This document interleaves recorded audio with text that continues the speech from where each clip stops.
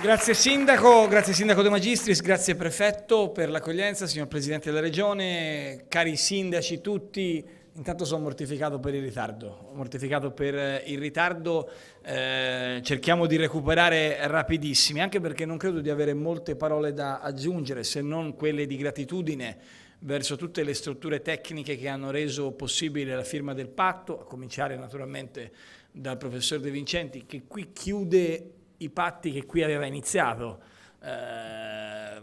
ricorderete che fu proprio in questa sede che firmammo il primo patto qualche mese fa con il Presidente De Luca e siamo molto felici di poter oggi eh, firmare il patto con il Sindaco De Magistris e con tutti voi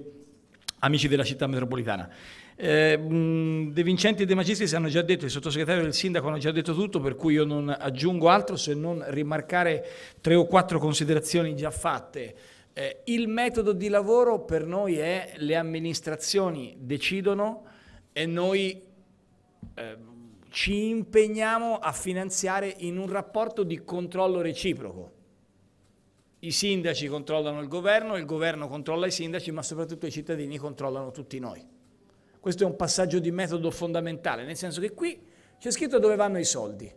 in che tempi, con quali regole e ciascuno di noi è chiamato a vicendevolmente controllare il buon operato. È evidente che nelle scelte che sono state fatte, che non sono partite oggi, come ovvio che sia, eh, giustamente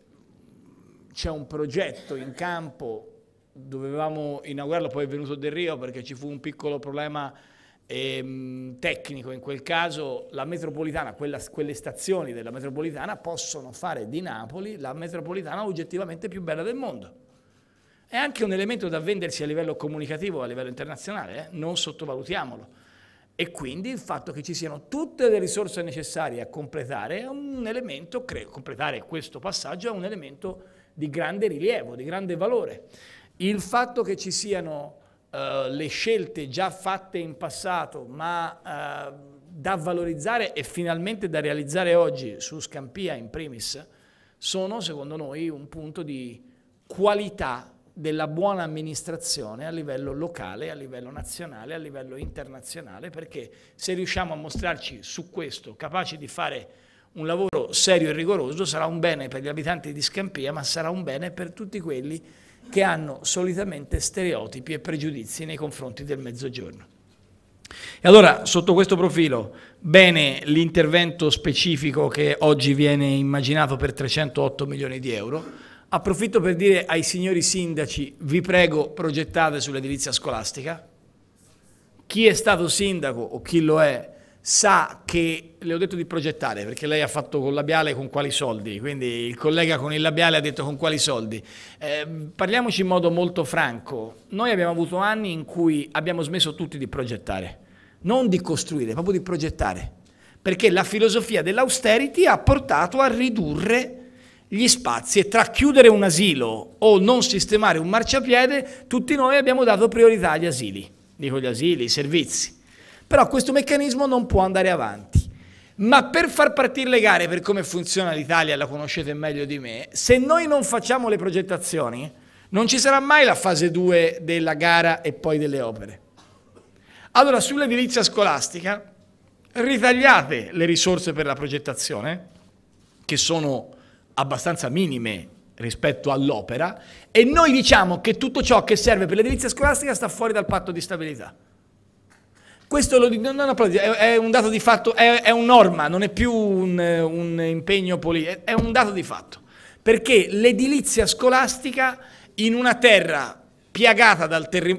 piegata, piagata dal terremoto tre volte negli ultimi sette anni, e peraltro in questa regione ne sapete qualcosa qualche anno fa, qualche decennio fa, questi argomenti sono fondamentali, vanno mandati avanti. In più aggiungo, noi abbiamo finanziato i progetti della città metropolitana, ma dico anche a tutte e a tutti voi di continuare a fare progetti sulle periferie e soprattutto sugli impianti sportivi perché è vero che i primi 183 sono stati finanziati dal CONI sulla base dell'accordo governo-CONI, ma noi quella graduatoria vogliamo rimpinguarla e tenerla aperta, per cui anche chi non è stato dentro, chi non è stato eh, scelto dei vari soggetti eh, interessati a impianti sportivi potrà eh, vedersi riconosciuto il proprio oh, impegno. Dunque, in sintesi estrema, bene la depurazione, bene Napoli Est, bene gli interventi di eh, sulla metropolitana, bene le scelte che ha fatto l'amministrazione, noi siamo dell'idea che per chiudere rapidamente e velocemente il metodo di lavoro migliore sia quello del controllo reciproco e del controllo da parte dei cittadini.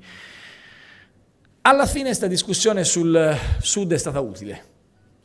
nel senso che è partita male secondo me un anno fa,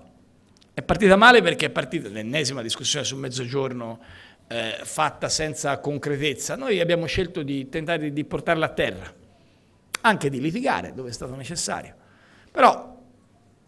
alcuni impegni concreti escono da questa fase di poco più di un anno con nome e cognome di chi deve fare le cose e tempistica. Poi ciascuno si tiene le sue idee, come è noto con il sindaco di questa città ne abbiamo molte di diverse dal punto di vista politico, ma dal punto di vista istituzionale Napoli è più grande di qualsiasi divisione possibile. E quindi ciò che serve per questa città, lo sa bene il Presidente della Regione, visto i 3 miliardi di euro sulla programmazione 2014-2020 che sono necessari a, a quest'area, come è doveroso che sia, perché di fatto Napoli è la capitale del mezzogiorno e sotto questo profilo noi abbiamo bisogno che, di dare un messaggio di ripartenza a Napoli per far ripartire tutto il mezzogiorno, non soltanto la città. Abbiamo degli impegni concreti su cui i cittadini potranno giudicare, ma abbiamo soprattutto finalmente un approccio, che è quello sul quale chiudo, che per me è fondamentale e sul quale vi chiedo da ex sindaco a sindaci di darci una mano.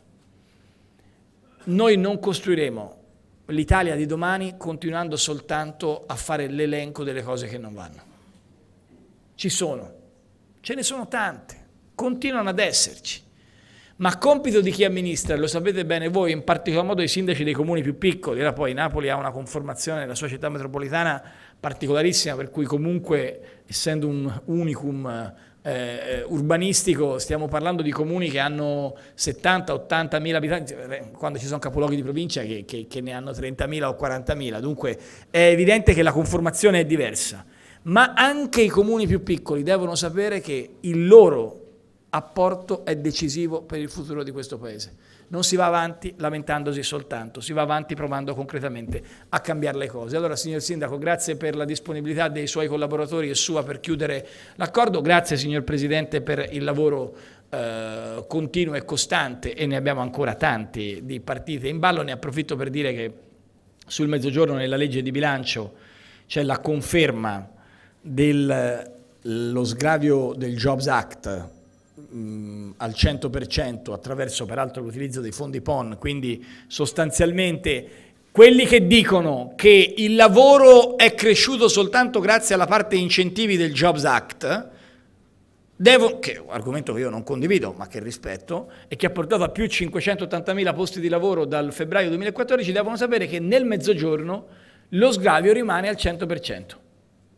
Quindi mi sembra un fatto importante da dire anche a chi ci segue da casa, dagli imprenditori, chi investe, o meglio, chi assume nel mezzogiorno ha la possibilità di avere lo stesso sgravio contributivo che aveva nel 2015 con il Jobs Act. Mi sembra una cosa particolarmente importante e significativa, tuttavia c'è ancora molto molto da fare, sarà bello e importante farlo per onorare quella fascia tricolore che ciascuno di noi porta, chi la tiene fisicamente perché è il momento di tenerla da sindaco e chi, avendola indossata qualche volta, se la sente tatuata sul cuore e tatuata sull'anima. Grazie anche a lei, signor Prefetto, grazie sottosegretario De Vincenti. Eh, hai finito il lavoro oh, e hai anche finito i soldi, te lo segnalo, quindi non so che...